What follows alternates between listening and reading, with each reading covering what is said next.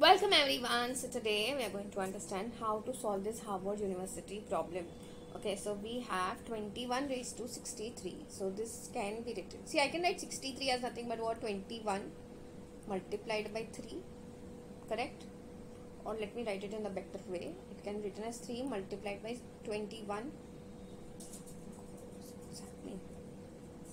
Correct?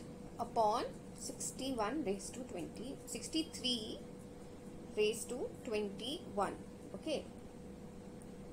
Now remember that a raised to m into n is can be written as a raised to m the whole raised to n okay? So we can write this as what? 21 raised to 3 the whole raised to 21 upon 63 raised to 21 and if we have b raised to n divided by this so we can even write it as what? A raised to m upon b the whole raised to n which is the same thing which I will do. 21 multiplied 21 raised to 3 can be written as 21 multiplied by 21 multiplied by 21 upon 63 the whole raised to 21 now if you see things are cancelling. 7 3s are 7 9s are 3 1s are 3 3s are 3 1s are and 7s are so basically you're coming out to be 7 multiplied by 21 the whole raised to 21 which comes out to be 147.